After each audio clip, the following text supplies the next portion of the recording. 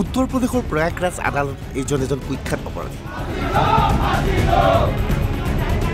নাম আতিক আহমেদ। আতিক আহমেদ আৰু তেওঁৰ ভাতৃ আশ্ৰফক এইদৰে আদালতলৈ লৈ অহা হৈছে আদালতৰ বাহিৰত হাজাৰ হাজাৰ দৃশ্য। এইবাৰ এই দৃশ্য মন কৰক। আতিক আহমেদক নিৰাপত্তা বেষ্টনীৰ মাজত লৈ আনিছে আৰক্ষীয়ে আচলতে গুজৰাটৰ সবৰমতী কাৰাগাৰত বন্দী হৈ আছিল আতিক আহমেদ। ৰায়দান কৰাৰ দিনটোত আদালতত হাজিৰ কৰিবলগীয়া হোৱাৰ বাবে উত্তৰ প্ৰদেশ আৰক্ষীয়ে গুজৰাটৰ সবৰমতী কাৰাগাৰৰ পৰা প্ৰয়াগৰাজৰ আদালতলৈ এইদৰে এখন গাড়ীত লৈ আহিছে আতিক আহমেদক আতিক আহমেদৰ পৰিয়ালে আশংকা প্ৰকাশ কৰিছিল। এইদৰে গাড়ীত আনি থকাৰ সময়ত আতিক আহমেদক এনকাউণ্টাৰ কৰি হত্যা কৰিব পাৰে উত্তৰ প্ৰদেশ আৰক্ষীয়ে। কিন্তু কাৰ্যত সেয়া সংগঠিত নহ'ল প্ৰশ্ন হৈছে আতিক আহমেদক এইদৰে লৈ অহা হৈছে কিয়? এইবাৰ এই চি চি টিভি ফুটেজটো মন কৰক। কেইদিনমানৰ পূৰ্বে এই চি চি টিভি ফুটেজ দেখা গৈছিল। উমেশ পাল নামৰ এজন অধিবক্তাক চহৰৰ মাজমজিয়াত এইদৰে গুলীয়াই হত্যা কৰিছিল সাতজনকৈ ব্যক্তিয়ে। এই সাতজন ব্যক্তি আছিল আতিক আহমেদৰ গেঙৰ জেলত থাকি আতিক আহমেদে এই সাতজনক উমেশ পালক হত্যাৰ নিৰ্দেশ দিছিল আৰু কাৰ্যত সেয়া সম্ভৱপৰ কৰি তুলিছিল এই আততায়ী দলটোৱে। আদালতে আতিকসহ সাতজনক দোষী সাব্যস্ত কৰিলে। জাব্বাজম্বল কৰাদণ্ডৰ শাস্তি ঘোষণা। আতিক আহমেদক ফাঁচি দিব লাগে বুলি পৰিয়ালে দাবী কৰিছিল। কিন্তু আতিকক ফাঁচি দিয়া নহ'ল আতিকক যাব্বাজীৱন কাৰাদণ্ড দিয়া হ'ল। এতিয়া আপুনি জানিব বিচাৰিব এয়া আতিক আহমেদ কোন আতিক আহমেদৰ ইতিহাস কি? উত্তৰ প্ৰদেশৰ এজন গেংষ্টাৰ। একেলেঠাৰিয়ে পশ্চিম এলাহাবাদ সমষ্টিৰ পৰা পাঁচবাৰকৈ বিধায়ক হৈছে আতিক। আহমেদ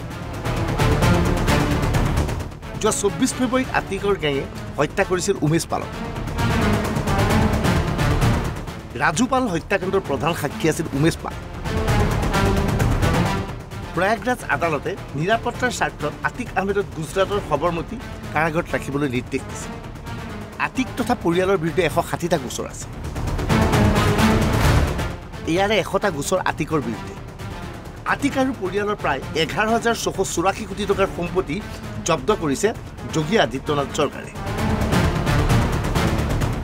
এই আতিকক প্ৰায় এহেজাৰ কিলোমিটাৰ দূৰৰ পৰা গাড়ীযোগে অনাৰ বাবে যথেষ্ট সাৱধানতা অৱলম্বন কৰিছিল উত্তৰ প্ৰদেশ আৰক্ষীয়ে। আতিকক কঢ়িয়াই অনা এই গাড়ীখনলৈ মন কৰক। গাড়ীখনৰ ভিতৰত এইদৰে চি চি টিভি সংস্থাপন কৰা হৈছে। গাড়ীখন চৌদিশৰ পৰা আৱৰি ৰখা হৈছে। আতিক আহমেদে কোনো ক্ষেত্ৰত গাড়ীখনৰ পৰা যাতে পলাব নোৱাৰে তাৰ বিশেষ ব্যৱস্থা কৰা হৈছে। আৰু এই গাড়ীখনৰ আগে পিছে আছিল উত্তৰ প্ৰদেশ আৰক্ষীৰ বিশাল কনভয় এটা। এইদৰে নিৰাপত্তা বেষ্টনীৰ মাজত এই গাড়ীখনত আতিক আহমেদক লৈ অনা হয় আদালত। সবৰমতীৰ পৰা প্ৰয়াগৰাজলৈ আতিকক আনিবলৈ আৰক্ষীয়ে ব্যৱহাৰ কৰিছিল বিশেষ বাহন। ইয়াৰ বাবে বিশেষ নিৰাপত্তা ব্যৱস্থা কৰা হৈছিল অৱশেষত আতিকক শাস্তি দিয়া হ'ল। কিন্তু উমেশ পালৰ পৰিয়ালে বিচাৰিছিল আতিকক ফাঁচী কাঠত উলিওৱা হওক अंतिम समय आ गया तो इसने मेरे बेटे को मरवा दिया लेकिन आज फैसला आने वाला है मैं ऊपर कोर्ट से कल भी कह रही थी आज इसको फांसी की सजा हो इसलिए कि इसको अगर उम्र कैद हो गया तो जेल में बैठ करके, वहाँ से शतरंज रच करके, मेरे बच्चों को, मेरे परिवार को ये फिर विनाश की घड़ी पहुँचाएगा। हम लोग न जी पाएँगे, न रह पाएँगे। बस मैं यही अपील करूँगी कि मेरे आदमी के कातिलों को छोड़ाना जाए, उन्हें फांसी की सजा ज़रूर दिलाई जाए। मैं आप सभी से मांग कर रही हूँ कि आप मेरी बातें, न्यायालय महोदय, और शासन प्रशासन सबसे मैं उन्हीं की उनको छोड़ा ना जाए मैं जिंदा ना बचने पाए अगर जिंदा बचा तो मैं वाकई में मर जाऊंगी और मेरा परिवार भी खत्म हो जाएगा আতিক আহমেদক আদালতৰ অনাৰ প্ৰাক মুহূৰ্তত আদালতৰ বাহিৰত অভূতপূৰ্ব ঘটনা সংঘটিত হৈছিল এজন অধিবক্তাই জোতাৰ মালালৈ সাজু হৈছিল আতিক আহমেদক পিন্ধাবলৈ हम ये दिखाना चाहते हैं कि ऐसे गुंडा माफिया को अगर जूतों की माला पहनाई जाएगी तो उत्तर प्रदेश में कभी जो है ऐसा गुंडा राज नहीं होगा साधारण लोग जीवन जीने का काम करेंगे ये अतीक अहमद को माला पहनाने का हम काम करने आए हैं दुर्दांत अपराधी था डर नहीं लग रहा है आपको हमको कोई डर नहीं लग रहा है मैं उमेश पाल का छोटा भाई हूँ उनका मित्र हूँ डरने वाला नहीं हूँ दिन दहाड़े मर जाऊंगा मगर डरने वाला व्यक्ति नहीं हूँ আতিক আহমেদ যেতিয়া আদালতৰ ভিতৰত প্ৰৱেশ কৰিছিল অধিবক্তাসকলেও ফাঁচি দিয়ক ফাঁচি দিয়ক দাবী উত্থাপন কৰিছিল